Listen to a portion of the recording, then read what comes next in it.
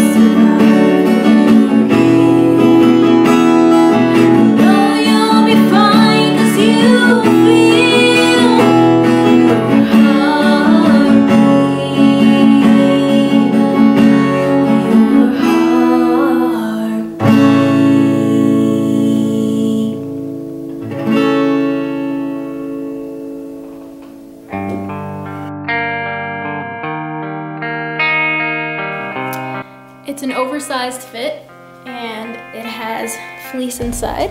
It's super cozy, warm, and it comes in sizes small, medium, large, and extra large. We also have heartbeat necklaces that look like this. They're really, really pretty.